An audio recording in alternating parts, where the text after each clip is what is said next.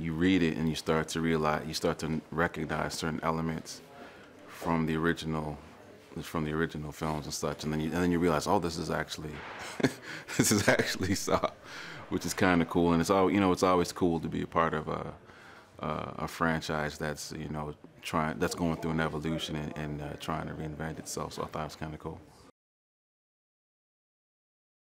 It's happening years after uh, John Kramer is presumed to be dead. So for these things to happen again, it's it's like okay, well, who I mean, you're recognizing the kinds of killings, you're recognizing the games nature of it, but you're wondering like, what? But he's dead, so who's doing this? And that makes it even more scary because the last time you could pinpoint it to one guy, but now you have no idea who who the uh, copycat could be.